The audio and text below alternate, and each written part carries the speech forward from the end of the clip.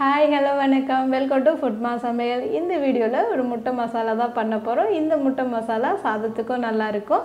சப்பாத்தி பூரி பரோட்டா கூட சைடிஷாக வச்சு சாப்பிட்டாலும் ரொம்பவே சுவையாக இருக்குங்க. நம்ம இந்த முட்டை மசாலா யூஸ்வலாக பண்ணாமல் கொஞ்சம் டிஃப்ரெண்ட்டாக பண்ணியிருக்கோம். ஸோ வீடியோவை முழுமையாக பாருங்கள் அப்போ தான் சுவையான முட்டை மசாலாவை பண்ண முடியும்.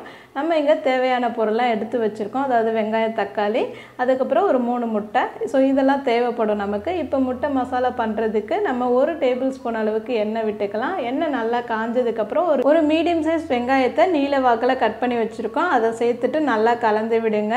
நம்ம இந்த வெங்காயத்தை நல்லா ரோஸ்ட் பண்ணி எடுக்க போகிறோம் ஸோ அதனால் நல்லா கலந்து விட்டுட்டே இருங்க.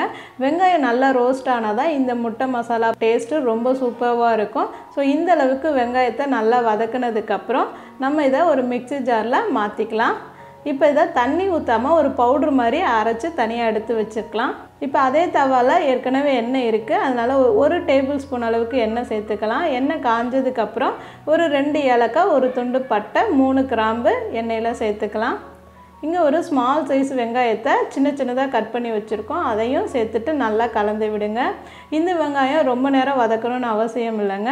ஸோ ஓரளவுக்கு வதக்கி வச்சாவே போதும். இந்த அளவுக்கு இருந்தால் போதும். நம்ம இங்கே ஒரு பெரிய சைஸ் தக்காளியை சின்ன சின்னதாக கட் பண்ணி வச்சுருக்கோம். அதையும் சேர்த்துட்டு திரும்பவும் வெங்காயம் தக்காளியை நல்லா கலந்து விடலாம். தக்காளி நல்லா குலைவாக வெந்திருக்கணும். ஸோ அப்போ தான் கிரேவி நல்லாயிருக்கும் ஸோ இந்த அளவுக்கு தக்காளி நல்லா வெந்துருச்சு பாருங்கள் ஒரு டீஸ்பூன் இஞ்சி பூண்டு பேஸ்ட்டு சேர்த்துட்டு வதக்கி விட்டுக்கலாம். இப்போ நம்ம ஒரு டேபிள் ஸ்பூன் அளவுக்கு மிளகாய்த்தூள் ஒரு டீஸ்பூன் அளவுக்கு மல்லித்தூள் அரை டீஸ்பூன் அளவுக்கு ஜீரகத்தூள் தேவைக்கேற்ப கொஞ்சமாக உப்பு இப்போ எல்லாத்தையும் திரும்பவும் கலந்து விடலாம். இந்த மசாலா பொடியும் வெங்காயம் தக்காளி பேஸ்ட்டு எல்லாம் இந்த அளவுக்கு கலந்ததுக்கப்புறம் ஒரு டேபிள் ஸ்பூன் அளவுக்கு நம்ம தயிர் சேர்த்துக்கலாம். இப்போ தயிரையும் மசாலாவையும் சேர்த்து ஒன்றா கலந்து விடுங்க.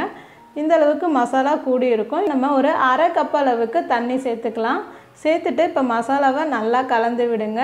தண்ணியோட மசாலா நல்லா கலந்ததுக்கப்புறம் மசாலா ஒரு கொதி வந்தாவே போதும். ரொம்ப நேரம் கொதிக்கணும்னு அவசியம் இல்லை. இப்போ இந்த அளவுக்கு கொதிஞ்சிருக்கு பாருங்கள் இப்போ நம்ம ஒரு கால் டீஸ்பூன் அளவுக்கு கரம் மசாலா தூளை சேர்த்துட்டு நம்ம அரைச்சி வச்சுருந்த இந்த வெங்காய பேஸ்ட்டையும் சேர்த்து நல்லா கலந்து விடலாம். இந்த மாதிரி செய்யும்போது முட்டை மசாலா ரொம்பவே சுவையாக இருக்குங்க. இப்போ மசாலா ஆல்மோஸ்ட் ரெடி இருக்குது நம்ம ஒரு மூணு முட்டையை வேக வச்சு ரெண்டு ரெண்டாக கட் பண்ணி வச்சுருக்கோம். மசாலாவில் சேர்த்துட்டு மிதமான தீயில் ரெண்டு நிமிஷம் அப்படியே விடுங்க. ரெண்டு நிமிஷம் அதுக்கப்புறம் நம்ம முட்டையை ஒன்று ஒன்றா திருப்பி விட்டுக்கலாம். திருப்பி விட்டதுக்கப்புறமும் திரும்பவும் ஒரு ரெண்டு நிமிஷம் மிதமான தீயில் வச்சிடலாம் அப்படியே. இப்போ பாருங்கள் ரெண்டு நிமிஷம் கழித்து பாருங்கள் மசாலாவும் முட்டையும் ரொம்ப சூப்பராக ரெடி ஆயிடுச்சுங்க. ஸோ கொஞ்சமாக கொத்தமல்லி இலையும் தூவிக்கலாம். நம்மளோட முட்டை மசாலா ரெடி ஆயிடுச்சுங்க. இந்த முட்டை மசாலா ரெசிபி உங்களுக்கு பிடிச்சிருந்துச்சுன்னா வீடியோ லைக் பண்ணுங்கள் மறந்துடாமல் ஃபுட்மா சமையலை சப்ஸ்கிரைப் பண்ணி வைங்க. Thank you see you next video bye bye